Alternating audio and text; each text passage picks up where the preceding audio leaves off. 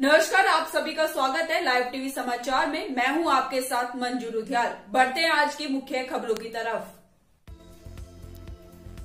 11 दिसंबर दिन शनिवार को महरुआ थाना अध्यक्ष विवेक वर्मा व माननीय तहसीलदार भीटी सुशील कुमार की अध्यक्षता में महरुआ थाने पर लगाया गया समाधान दिवस, जिसमें राजस्व विभाग के अधिकारी राकेश तिवारी, जितेंद्र सिंह सरवन कुमार सिंह, अखिलेश सिंह गया प्रसाद लेखपाल आदि मौजूद रहे, जिसमें कुल मौके पर सात शिकायतें आई, जिसमें से दो शिकायतों का तत्काल प्रभाव से निस्तारण कराया गया और बाकी की सात शिकायतों को संबंधित अधिक और बाकी की पाँच शिकायतों को संबंधित अधिकारी को निस्तारण कराने हेतु निर्देशित किया गया।